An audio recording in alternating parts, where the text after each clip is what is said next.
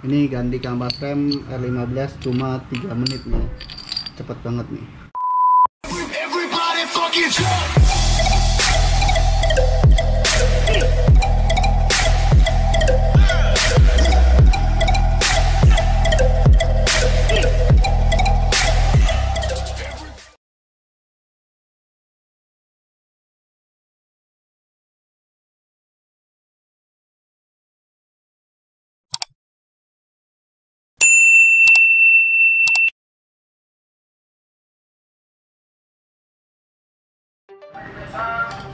Oke, bismillahirrahmanirrahim. Assalamualaikum warahmatullahi wabarakatuh. Kembali lagi dengan gue Bentang di channel Hafsa Gumelar.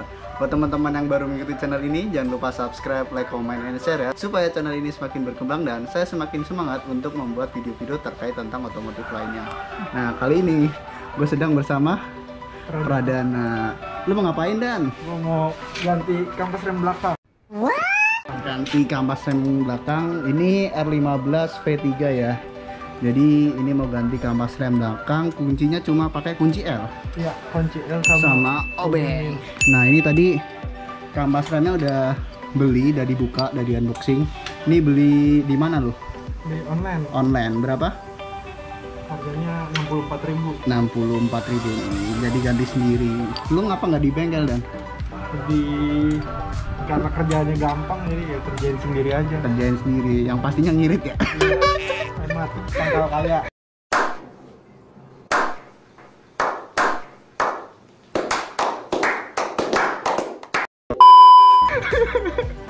Nih kita lihat cara mengganti kampas rem oleh mekanik andalan Yamaha Pradana Gusti Diningrat.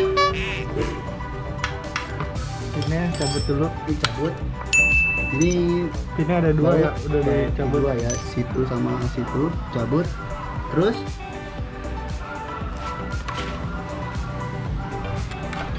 Dicugil kampas remnya tuh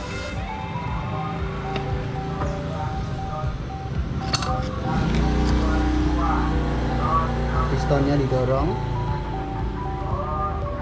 Pistonnya didorong ke dalam pakai obeng karena masih baru enak ya. Lu nggak bersihin pistonnya dan? Udah lah, cepet ya? Buru-buru. ini ganti kampas rem R15 cuma 3 menit nih cepet banget nih. Nah didorong. Ya langsung dipasang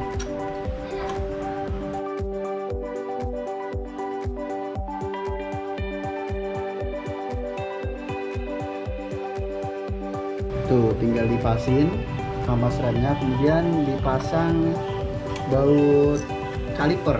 Dipasang baut kalipernya dua-duanya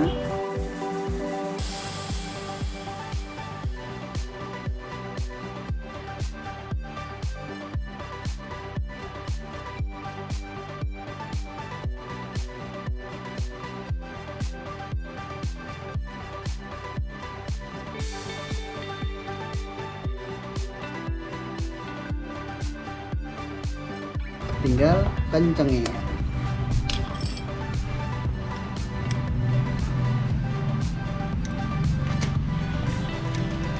Ini karena ada gua rekam biasa produknya jadi grogi biasanya cuma 3 menit udah kelar.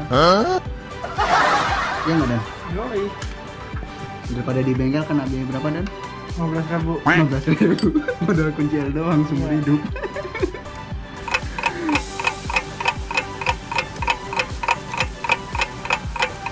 oke tinggal kencengin ya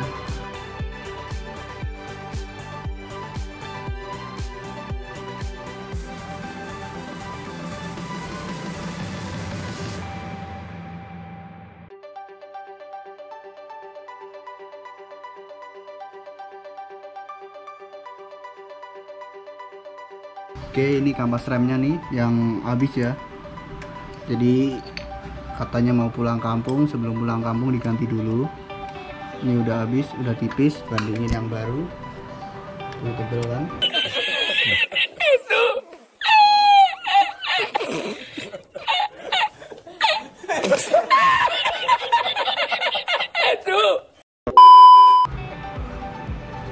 Yang lama tipis kayak gini.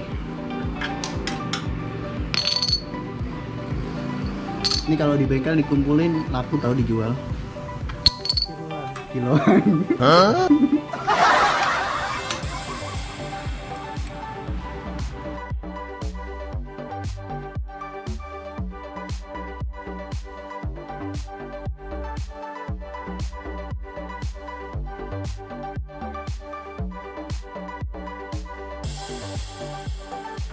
ini torsinya kalau habis makan lebih kenceng ya pokoknya ya. Kita pakai kunci torsi hand tools